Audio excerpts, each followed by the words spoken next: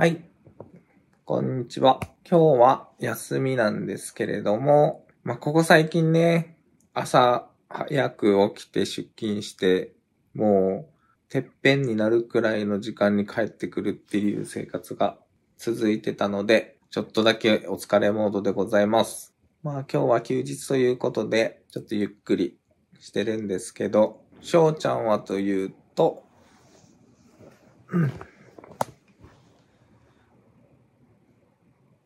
翔ちゃんはそっちで、今、作業中です。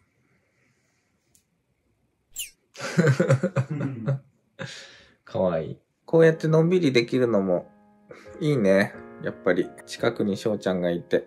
翔ちゃんいつでもこっち来てくれていいからね。なんだその返事は。翔ちゃんいつ来てくれてもいいんだからね。なんか誘ってるのに来てくれない。ちょっとね、皆さんにお知らせもあるんですけれども、今回ね、またグッズを販売することが決まりまして、昨日とかもね、ちょっとその最終調整を、まあ、マネージャーと一緒にやってたんですけれども、いい感じのものができました。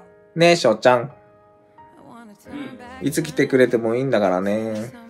お、来た来た。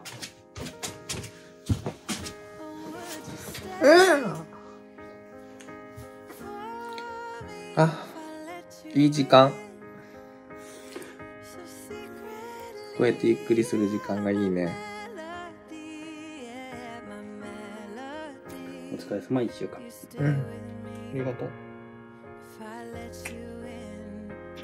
いやー、ほんと大変だった、今週。俺も大変だっそうね。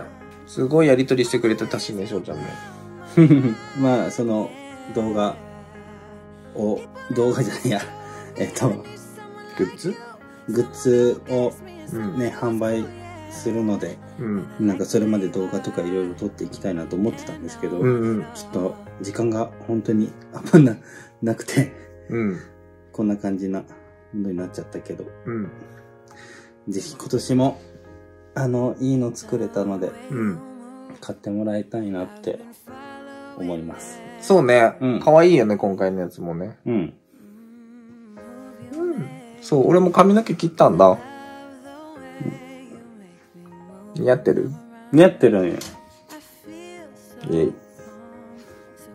イェイイェイ。なのでぜひ、うん。あの、みんなのところにうん。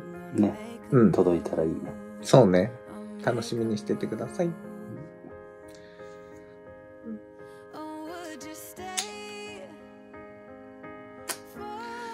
じゃもう今日はこのまま寝よう。